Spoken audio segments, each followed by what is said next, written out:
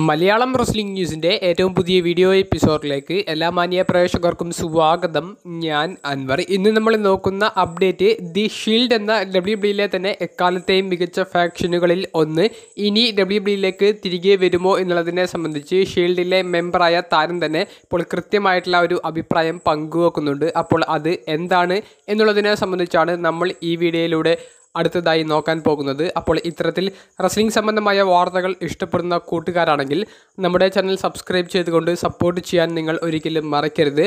അധികം ദീർഘിപ്പിക്കാതെ നേരെ വീഡിയോയിലോട്ട് തുടക്കാം ഡബ്ല്യു ബിയുടെ ചരിത്രത്തിലെ തന്നെ ഏറ്റവും മികച്ച ഫാക്ഷനുകളിൽ ഒന്നായ ദി ഷീൽഡ് എന്ന ഗ്രൂപ്പിന്റെ ഡബ്ല്യു ബിയിലേക്കുള്ള തിരിച്ചുവരവ് അതുപോലെ തന്നെ ഈ മൂന്ന് റെസ്ലേഴ്സും റീയൂണിയൻ നടത്തുന്ന ആ ഒരു സെഗ്മെന്റ് അതിന് ഇപ്പോഴും ആരാധകർ ഒട്ടനവധി കാത്തിരിക്കുന്നുണ്ട് എന്നുള്ളത് കൊണ്ട് തന്നെ ദി ഷീൽഡിലെ മെമ്പറായ സെത്ത് റോളിൻസ് ഇക്കഴിഞ്ഞ ദിവസത്തെ ഒരു ഇന്റർവ്യൂവിൽ വെച്ച് ഇന്റർവ്യൂവർ ചോദിക്കുന്ന ഒരു ചോദ്യം ഷീൽഡിന്റെ റിയൂണിയനെ സംബന്ധിച്ചായിരുന്നു. അതിന് കൃത്യമായ മറുപടികളും കൊടുക്കുന്നുണ്ട്.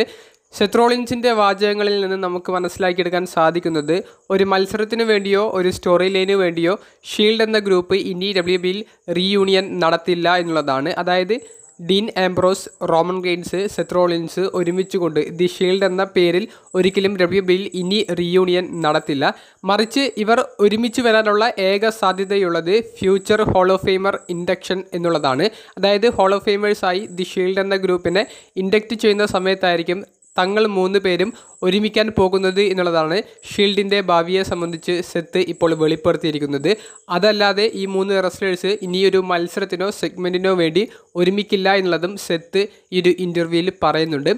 കാരണം കൂടി സെത്ത് വെളിപ്പെടുത്തുന്നുണ്ട്. മൂന്ന് റെസ്ലേഴ്സിനും ഇപ്പോൾ കൃത്യമായിട്ടുള്ള ക്യാരക്ടറുകളുണ്ട് ഷീൽഡ് എന്ന ഗ്രൂപ്പിൽ ഉണ്ടായിരുന്ന സമയത്തുള്ള നിലവിലെ സ്റ്റാർഡമല്ല മൂന്ന് റെസ്ലേഴ്സിനും ഉള്ളത്. മൂന്ന് റെസ്ലേഴ്സും ഇൻഡിവിജ്വൽ ആയിക്കൊണ്ട് തന്നെ റെസ്ലിംഗ് ലോകത്തിലെ ഏറ്റവും മികച്ച താരങ്ങളായി പിറവിയെടുത്തു കഴിഞ്ഞു. അതുകൊണ്ട് തന്നെ മൂന്ന് റെസ്ലേഴ്സിനും ഇനിയും ആ ഒരു പഴയ ഫാക്ഷന്റെ ആ ഒരു നിഴലിൽ നിൽക്കേണ്ട ആവശ്യമില്ല. അതുകൊണ്ട് തന്നെ തിരികെ ഷീൽഡ് എന്ന ഗ്രൂപ്പിന്റെ റീയൂണിയന്റെ ആവശ്യം ഇല്ല എന്നുള്ളതാണ് സെത്ത് പറയുന്നത്. ഷീൽഡ് എന്ന ഗ്രൂപ്പിന്റെ ലാസ്റ്റ് ചാപ്റ്റർ എന്ന രീതിയിലുള്ള സ്റ്റോറി ലൈനും മത്സരവും ദി ഷീൽഡ് എന്ന ഗ്രൂപ്പിന് കൊടുത്തിരുന്നു. അതുകൊണ്ട് തന്നെ കൃത്യമായിട്ടുള്ള എൻഡിങ് തന്നെയാണ് ഡബ്ല്യു ബി ഇതുവരെ ഷീൽഡിന് കൊടുത്തിട്ടുള്ളത്. എന്നാലും റീയൂണിയന് ഒട്ടനവധി ആരാധകർ കാത്തിരിക്കുന്നുണ്ട്.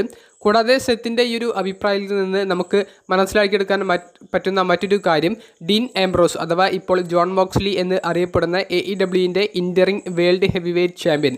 W തിരിച്ചു വരാനുള്ള സാധ്യത കുറവാണ് എന്നുള്ളതാണ്. അതുകൊണ്ടാണ് സെത്ത് പറഞ്ഞത് മൂന്ന് റെസ്ലേഴ്സിനും കൃത്യമായ ക്യാരക്ടറുകൾ നിലവിലെ സ്റ്റോറി ലൈനിൽ ഉണ്ട് എന്നുള്ളത്. ഇനി ജോൺ മോക്സ്ലി അഥവാ ഡീൻ എംബ്രോസി ഡബ്ല്യു ബിയിലേക്ക് തിരിച്ചു വരുന്നുണ്ടെങ്കിൽ അത് ഹോൾ ഫെയിം ഇൻഡക്ഷൻ അല്ലെങ്കിൽ ഹോൾ ഓഫ് ഫെയിമർ ആകാൻ വേണ്ടിയിട്ട് മാത്രമായിരിക്കും.